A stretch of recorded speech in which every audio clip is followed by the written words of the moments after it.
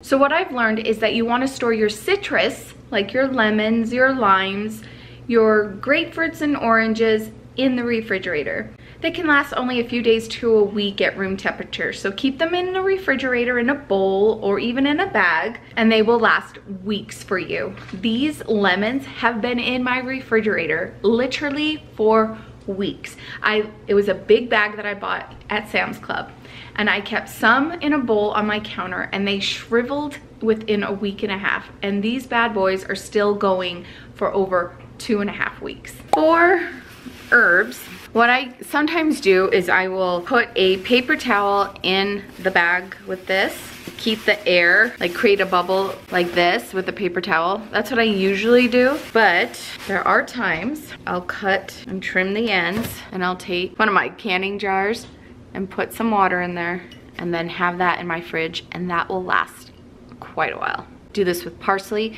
Basil does better out of your refrigerator than in. So berries, they could get moldy and mushy very quickly. So let me share with you how I prepare these for the refrigerator. So I've got a big bowl of water here. I'm not sure how much, but you could put like three tablespoons or three capfuls in. I don't measure. Any ones that I notice that are starting to bruise, I'll just, I'll still clean them, pick out the bruising part, and those are the ones that get tossed in the freezer. All right, I'm just gonna let these sit here for a few minutes. You don't even need the salt. You're still gonna find bugs popping up. Look at that. All right, I have a strainer on a towel and I'm going to take these out, get them in the strainer, rinse them under cold water, and I'm going to repeat this process. So one way you could store and reuse the container, the air breathable container that your strawberries came in, is put some paper towel down at the bottom to soak up the moisture and then you can add those back in. You can also cut the tops off and lay them upside down like this. But I'm gonna make sure before I put them in that I pat them dry and get all the excess water off but you can, like I said, clean the stems, then put them upside down like this. Now, when I do this, I'm looking for all the really, really good ones. The ones that are a little bruised, but are still good, are going to be put in a Ziploc bag and put in the freezer for our shakes and smoothies. And there you have it. Your strawberries can stay nice and fresh for you while in the refrigerator a little longer. And these are ready to go right into the freezer. All right, I'm going to do the same thing with my blueberries.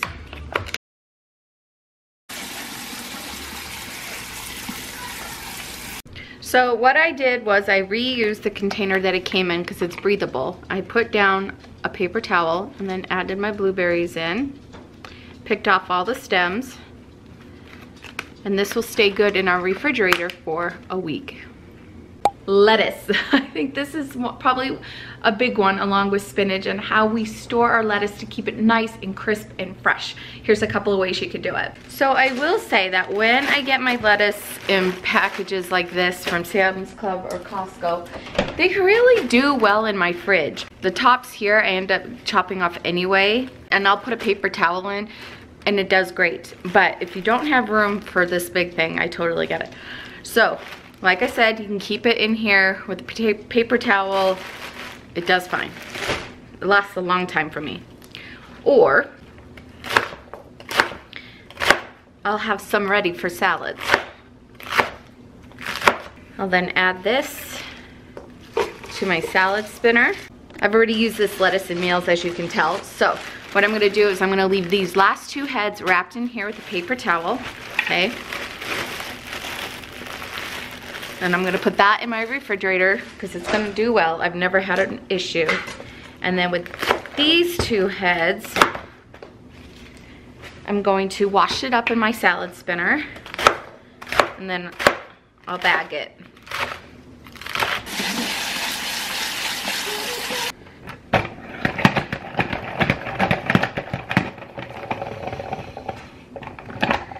I'm gonna be doing this a few times and get all the water out. Then I go in and I just give it a little rub. If you have the room in your refrigerator, you can put this in a mason jar with a paper towel and it does really well.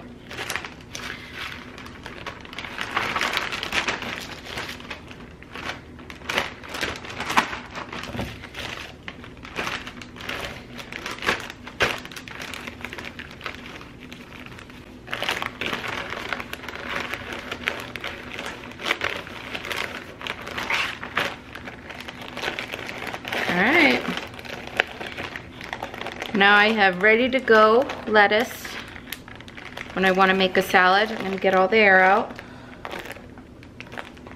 And this will last a good while in your fridge. More than a week. And there you go. If your spinach already comes in a container with the lid, mine doesn't, all you have to do is take the spinach out, line it with paper towels, and put paper towels on top and reuse what you have. But this container that I got it was just sealed.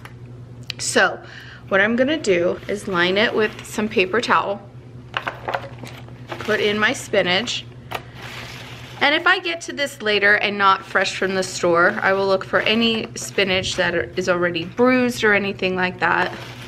I'm gonna take a paper towel and put it on top because this creates a lot of condensation and I don't want it to wilt. So then I'm just going to put a lid on this get the air out, keep it in the refrigerator. This will stay good for like 7 to 14 days, nice and crisp and green. So you could throw it in salads, cook with it. It'll be so good. I'm gonna do the vinegar and water also. I love the mini cucumbers, but they will get nasty in these bags.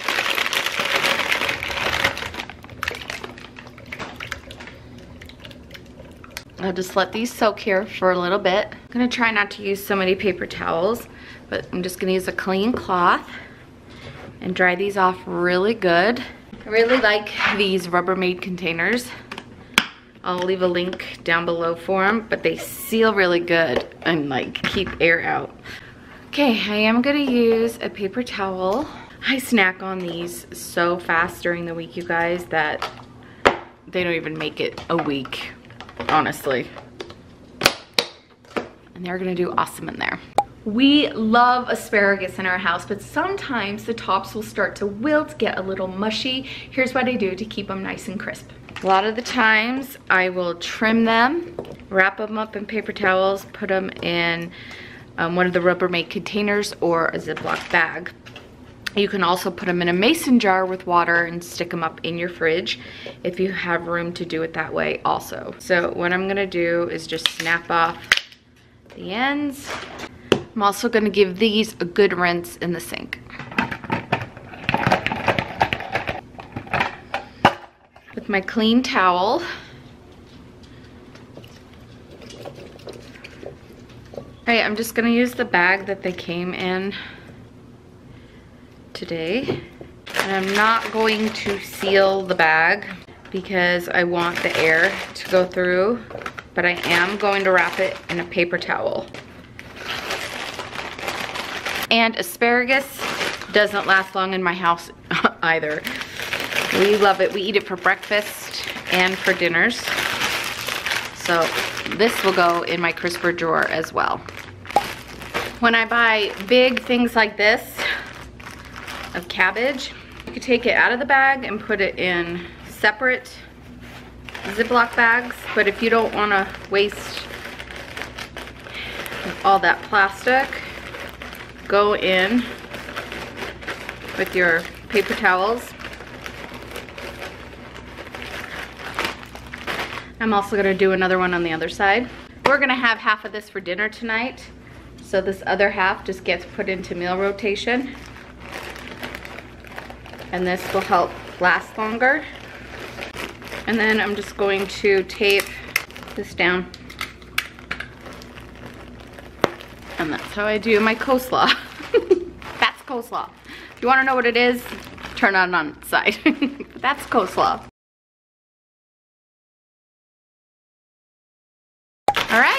Let's do Brussels sprouts. If you buy them in the bags and you haven't gotten to them fast enough to clean, all you have to do is just take the few top sprigs off and you're good to go.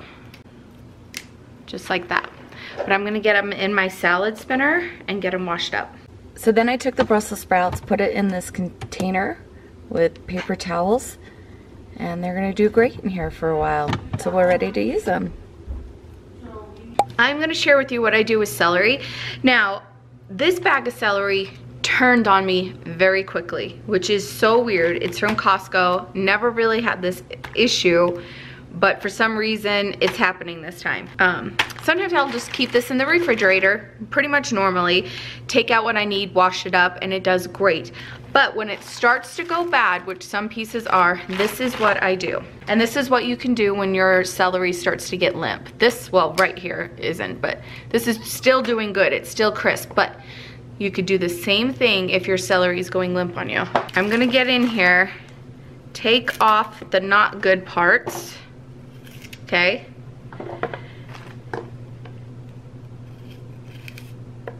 Whatever you're gonna store it in, if it's a Ziploc bag, if it's a container or a jar, add water. This will like rehydrate them, get them hard again, and it is amazing. And then you have your celery. No need to throw out this whole bag. This is the weirdest thing, guys. I'm glad I'm sharing this with you because I've not had this happen to me with a bag of celery like this. I, we go through celery quick in our house, but I did have another stock I was going through. But still, this is bizarre for a Costco bag of celery. All right, I'm gonna grab this celery, put it in this strainer, and we're gonna wash it off. So like I said, you could use a baggie, you can use a jar, you can wrap it in aluminum foil. I've seen that done. For some reason, that wigs me out. I just can't. So with this celery, it needs to be used fairly quickly, but it's gonna do fine. I'm just gonna put it in this container. I'll have a link for these down below. These are also freezable. They have lids, they're awesome. And then I'm going to put about an inch or more of water in. So they're standing in the water. And this go around they'll go stand it in my fridge like this. And they have an inch or so of water. They're gonna do awesome. Still use them for cooking and snacking.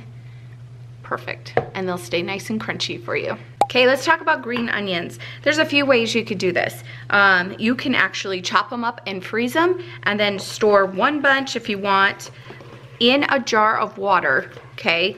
You'll put the water level just about to where it really starts to get green and wrap a bag over them and keep them in the, your refrigerator because they like humidity and they will stay crisp and perfect for you for weeks, okay?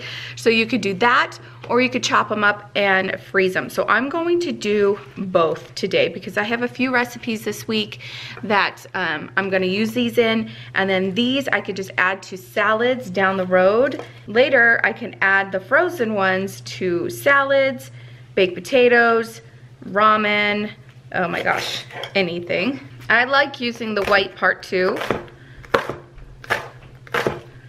I think they're just as delicious. And you can throw them in stir fries. They're still gonna be great. And they thaw really quick. After a while, all your containers seem to disappear. I'm just gonna use this one, even though it's double-sided, big whoop. So we're gonna add these in here. All right, so this will go in the freezer and I can add this to anything and it'll be perfect. So now let's do the jar thing with these ones. I'm not cutting the roots off these, okay? We're gonna keep these on there. Already added my water in and I'm just going to place those down like that. So they hit, the water hits right where the green is showing. Then I'm gonna take this bag, just put it over this because they do like humidity and I'm just going to stick this in the back of my refrigerator and it's gonna do awesome. It'll last for a couple of weeks, you guys. Now I'm gonna wash up my radishes. I have a little bowl of water here. I'm gonna put a little bit of vinegar in.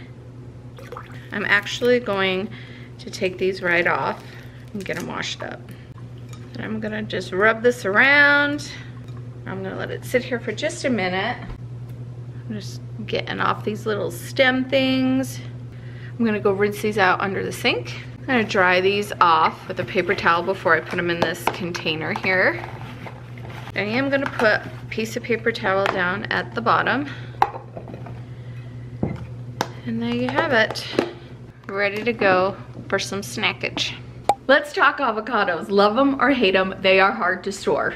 If you buy really hard avocados for the fact that you're not gonna get through them during the week fast enough, what you could do is just put those hard ones, store them right on your counter and you'll be fine when you need them. If you need them quickly, put them in a brown sack you can also add in that sack an apple. The gas from that apple will help ripen that avocado and start softening it for you.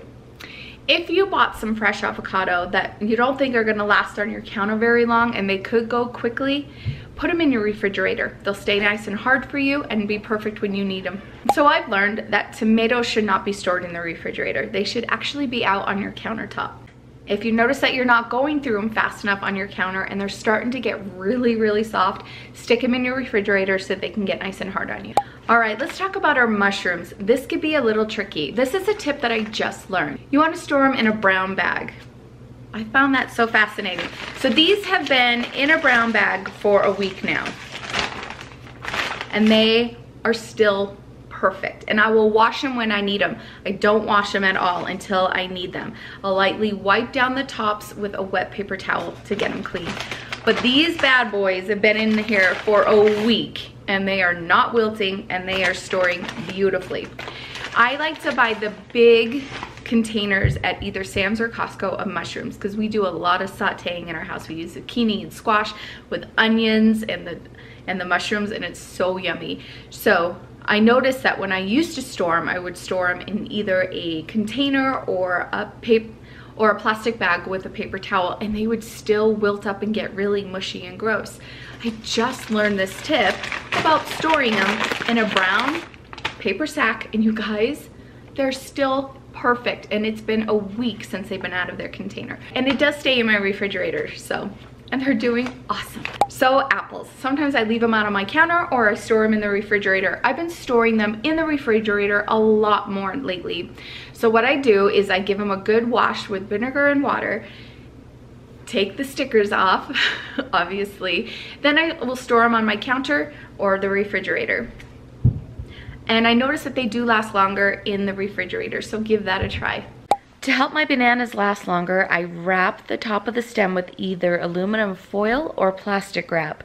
And this helps keep them yellow much longer. If they start to get brown and soft, I can stick them in the refrigerator and that will help as well. So our refrigerators have our crisper drawers and there is a humidity level. I keep one of the one of the drawers on high humidity and these are for certain vegetables. So here's just an idea of some high humidity vegetables. Broccoli, Brussels sprouts, cabbage, carrots, cauliflower, cucumber, eggplant, green beans, okra, peas, peppers, and strawberries. And then you can have your other drawer for uh, your low humidity. And here are some of the things that can go in that drawer. Apples, avocados, ripe bananas, melon, kiwi, figs, mangoes, papaya, pears, plantains, stone fruit like apricots, nectarines, and peaches. Okay friends, this is just some of the things that I do. And like I said, I don't have time right when we get home from the grocery store. I, I just put everything into the fridge until I could get to it.